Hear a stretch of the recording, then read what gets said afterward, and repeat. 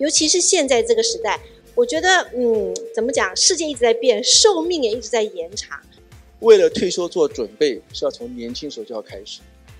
也许在你呃一个呃刚出社会的一个新鲜人，可能还不会有这个了解，没有关系。可是到了三十岁、四十岁以后，就必须要认真、很严肃的来看这个问题。就像刚刚你讲，你已经很清楚知道我要什么，我不要什么，这个已经很不容易了。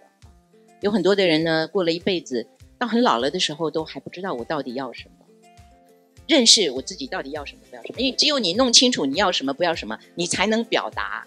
那表达出来，你还不一定能要得到你要的东西，但是至少你表达了以后，你的能量就会通了，就不会卡在那边。大家都看到你们的梦想都上台了。